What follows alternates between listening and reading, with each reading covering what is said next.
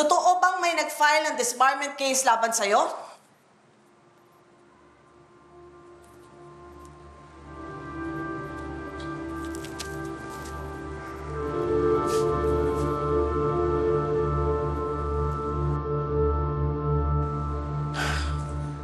Bakit hindi mo sinabi sa akin? Kailangan kong malaman via email from an anonymous source? Ma, kasi ang dami nang nangyayari. Yung pag eskandalo sa atin ni Olivia. Yung pag-takeover nila ng ospital. I didn't want it to concern you. But this is my concern too. Paano na lang kapag lumabas ito sa press? Tuluyan na ako masisira at matatalo sa eleksyon.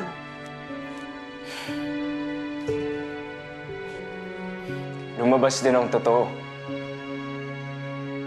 Sarili mo lang ang iniisip mo.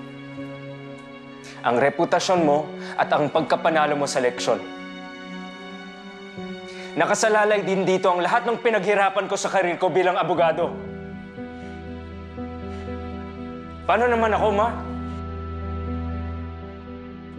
Makinig ka sa akin, Lucas. Ang pagkapanalo ko ay para sa'yo din. Dahil mawawala lahat ng problema natin kapag nanatili ako sa pwesto.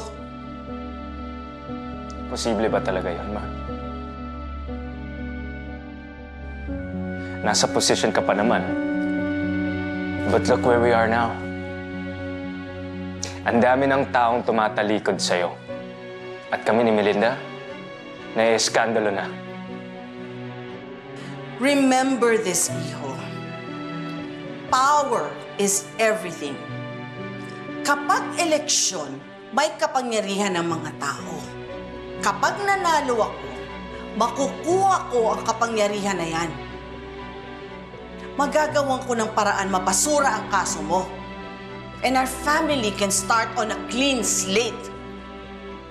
Kaya hindi tayo dapat nag-aaway-away. We should stick together para matalo natin ang mga nagpapabagsak sa atin.